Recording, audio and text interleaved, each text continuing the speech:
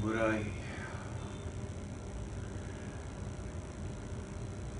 बुराई सभी में होती है। जैसे इंसान को पाँच तत्वों से बनाया गया है।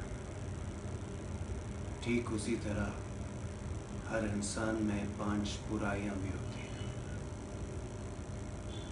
काम क्रोध, मोह, लोभ और अहंकार और इन्हीं पाँच चीज़ों से इंसानों को वश में किया जा सकता है। इस इस पूरे संसार पर राज किया जा सकता है। कुछ लोगों को लगता है कि ये ये संसार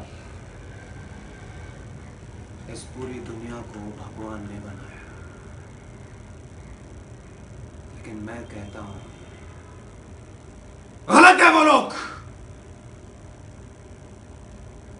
क्योंकि इस इस दुनिया को उस भगवान और शैतान दोनों ने मिलकर बनाया था।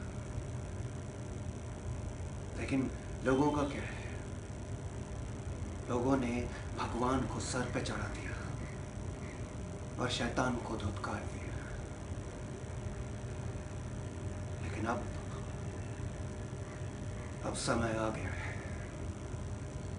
अब समय आ गया है कि शैतान अपना वर्चस्व इस पूरे संसार पर फैलाए जाओ जाकर बता दो सबको कि असली सुख शैतान की हुकूमत में उस